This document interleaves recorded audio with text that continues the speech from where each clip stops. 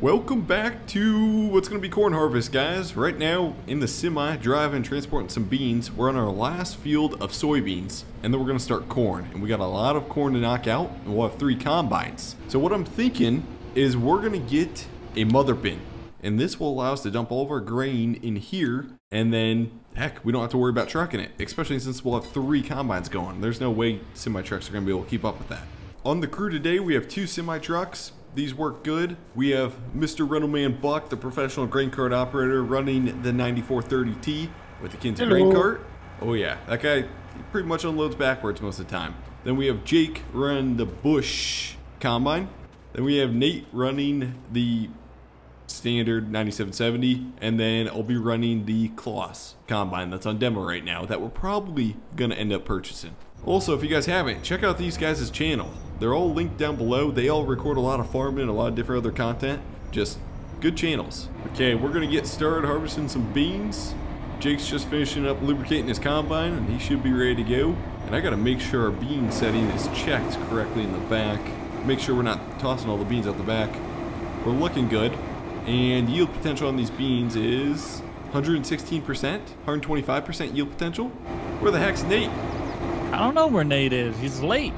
Nate, you on the CB there? Nah, man. He ain't even on the CB. Buch, when we get on corn, you are gonna have to hurry like crazy. Well, for right now, since we don't have a third guy, I'll always take the third one.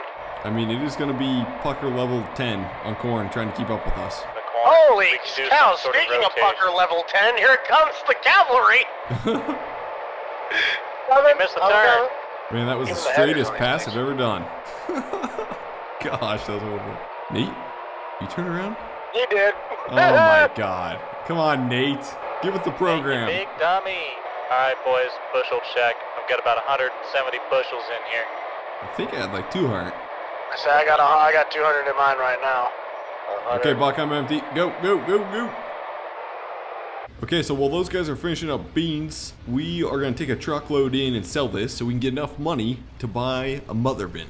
Okay, Buch's going to unload us quick, top us off, and we'll get going. Okay, we are trucking. We're going to go to the ethanol plant, ethanol and bean processing plant over here. We'll take these beans. We should be able to get a good price. Now, these semi-trailers hold like four or 5,000 bushels of beans, which is like four or five times the amount that you do in real life. But it's pretty nice to fit that much grain on a semi. We'll go up on the scale and weigh ourselves real quick.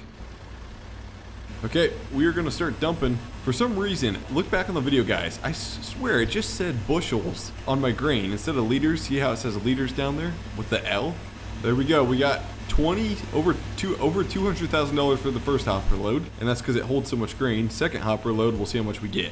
Okay, we got like $100,000 from the second hopper load, so we should be good. We are going to be purchasing a mother bin and we need a big tractor to put it on. Now they say not to run articulated tractors on it because it screws up, screws up steering, but this is the only big horse I got. We do have the Magnum, but it might be a little too light for that walkabout mother bin. So we're gonna put the 9530, the planter tractor on there, but I'd like to take off the, the triples on it so we can kind of fit down the road a little better. Okay, so we got duals on the tractor. That works good. We got the triples off. Boys, you get into the cornfield? Well, we're waiting on you. Can we get in yet? I'm gonna go run down in town and grab the mother bin quick. But you guys can get head to the field. By the time Alrighty. you're full, I should have the mother bin back. I'm gonna get rolling on Is up that, that, a 16 way. row corn head? Right? I have no idea. I picked it up off the ground. I think I think you picked up the wrong corn head. You picked up the well, 16 row. uh, it's gonna go very well. Uh, we'll swap it if we have to, but it'll be all right. Okay, boys, we got the Walkabout Mother Bin. Now, this thing, you would think it's kind of light. You know, it's big, obviously, but it's empty. It's kind of light. But no, the 9530, she struggled a little bit pulling up the hill yet. But this thing, I got to check how many bushels it holds. One of them holds 4,000, and then I think this one holds, let's see here. Oh, it holds 6,000. Yeah, it's got 6,000 there. And then this one has a 4,000. So, it must only hold 6,000 bushels then. Boys, how's she yielding? Uh, worse than last year. Seriously? Son of a gun. Oh gosh, yeah, that field's not in the best shape. Probably should have put on some ni more nitrogen. Oh gosh, we're all over the road. Don't crash the mother bin. Not in the ditch, Grant. We're good. Oh my, look at that. How many wheels you got on that thing? Uh, Enough to 20? carry my ex-wife to church. gosh darn it, Bob.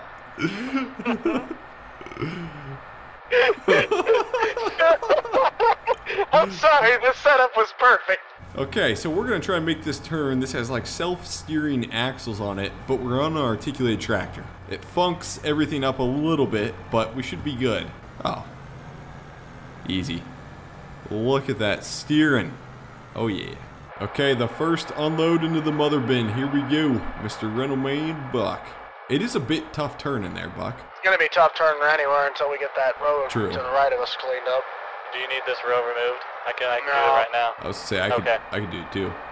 We can both do it and have extra room. How about There that? There we go. And Buch's unloading. Can we fit the whole field in the mother bin? Oh yeah. Buch, I'm at 65%. Nate's currently unloading right now. Only at 50 right now, but Grant, I'm is a full. I'm gonna unload just enough because you only have a 300 bushel hopper on that thing, don't you? Yeah, yeah, I'm getting super full. There we go. Rental Man Buch coming in to unload. We got Pickle going up ahead, and we got Jake on our right side. Or not Jake. We got Nate on our right side. Nate the Great. Just go, turn left. Just go left. I'll follow. oh, look at that. Hey, Yeah. Rental Man Buch, come on. Keep I'm her up. Trying. I'm in maxing out the sixth gear. There you There we go. go. Oh, yeah. okay, we're going to trade places with Nate. He's been around the Colossus. Nate, how you liking the Colossus? I didn't want to leave it. We got the 16 row corn head. This thing is just eating corn, but it can only go 6 mile an hour. Compared to that, it can go 7, but we do have a 16 row corn head, so we should be good. And we got extra grain capacity in the Colossus. Okay, it is now the next day, and we got a little bit of rain overnight, but we finished the field. So we're going to be going on to the next field after this. I'm going to pull around to the mother bin and get this semi loaded up with grain. We may go sell a tad bit of grain because right now I'm negative $8,000 because of our lease payments on the land that we rent. So we may sell a little bit, but then the rest is just going to go in uh, storage at our bin site. So this is the first time ever using the mother bin. Pull around to her, and I got to start the tractor and get the PTO running, and we should start loading. Now this is pretty cool. But the fact is, these semi trailers are modded to have like four or five thousand bushels in here, which in real life they only hold a thousand bushels. So really, do we need the walkabout mother bin? Probably not. If this was real life, yes, we need this thing. And we are full. Look, we hold we held 4,800 bushel in this one semi trailer. Oh my gosh! And we'll pull in the bay and start selling some of this grain. I'd say that's enough. Enough to give us $56,000, and then everything else is going to go in our grain bins, and we're going to hold up for higher prices because uh, basis is pretty darn good once we get to next summer, and we can make a lot of money by just storing it in our bins. Okay, for now, I'm just going to back this semi into the neighbor's driveway across here. That way we can get all this equipment moved, and it's not blocking the entrance to the field. So we'll just back this thing in, get her parked here, and go grab a combine and start opening up some end rows. Son of a gun, we're off a little bit. Okay, so we're gonna get in the big Claas. I am loving this combine. Everything's been working good with it. I would love to buy a second one and maybe get rid of our Deeres. Even though the 9770 has been great to us, it would be nice to get two Claas combines and run two 16 row corn heads. Get the corn head unfolded and start opening her up. Okay, we had a little bit of planner mistake. I think we can blame this one on me. I think this was my fault, if I remember correctly. Didn't get the planner close enough to the edge. With a 16 row corn head, man, this thing opens up a field so quickly. Holy Toledo. So as far as yield, if you guys look here, we're in kind of the yellow. So that means we're in like the 90% range, 85% range, which isn't bad. We lost a little bit of yield because it got too high during pollination, or too hot during pollination. Otherwise, 90% yield, it's not too bad. We're averaging about like 220, 230 bushel corn, versus usually we'd average like 250 bushel corn across this farm. What? Hey, you coming into work? You don't remember, do you? What? When we went to the bar last night, I, I told you I'm getting the last cut of my yard in for the season so that way it can go to sleep nice and cut and looks good. I told you I'd be in after I got that done. But you were so drunk on Blue Moon from the tap that you wouldn't remember, and I told the bartender not to give you another round because you would not remember what I just told you. But no, there goes the next class, right down the gullet. Well, hurry it up. Why are you talking to me? Get mowing the lawn. Okay, Buch's still cutting his grass, so we're going to take over cart. We got Jimmy helping out run one of the combines there. Oh, look at that Claas go. That is just awesome seeing the chopping corn head, chopping those corn stalks. Oh, yeah, and there's Rental Man Buch. Hey, Buch, you on the CB there? What? Hey, can you uh can you truck some grain out of that mother bin quick? It's starting to get full. Yeah, I'm gonna go grab the other Kenworth just up the road quick, bring it in the field, and I'll I'll take this one in. Okay, we got a full cart already, so we got to dump. We'll probably just keep dumping in the mother bin. Buch's gonna pull around right there, and this just works super efficient. Oh, look at that shot, Buch. It's beautiful. Yeah, but it ain't dumping. Tractor's got to be on. There you go. Other bin's empty. I'm heading down to the ethanol plant, correct? No, head to the bin site. We don't need to sell any more grain. Okay, we're dump in the mother bin again. Nate is also dumping because I can't keep up with him. And so he's just got to dump on the end rows pretty much because it's tough just keeping up with those two combines alone. So far, yield has been decent. We got into some good yielding spots over here, but really, this isn't yielding too good. But this farm over here will end up yielding really good, the home home place. Okay, we're here, Nate. There we go. Just in time. Okay, we're going to do something a little different on this one. This grain cart's going to take a bit to unload, but there's an empty semi sitting there. So I got an idea. Oh yes, please run it. You got it. Oh no. Oh no. Thought this was going to work where you got to run over some corn to empty them. I just need to get them to the end. That's it. Okay.